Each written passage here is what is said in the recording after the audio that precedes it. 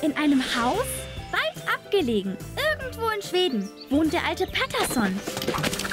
Und natürlich ich, sein Kater, Findus.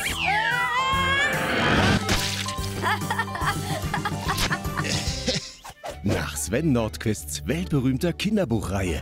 Peterson! Peterson!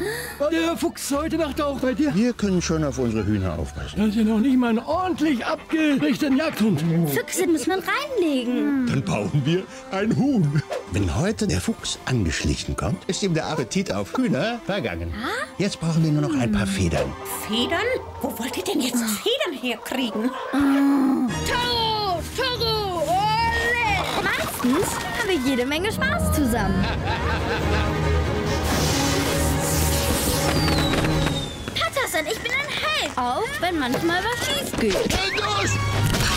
Findus, es gibt Sachen, die sind wirklich sehr, sehr gefährlich. Könntest ja auch mal stolz auf mich sein. Ich bin stolz auf dich. Patterson. Ulrich Nöthen. Was ist das? Das ist eine Sprungfeder.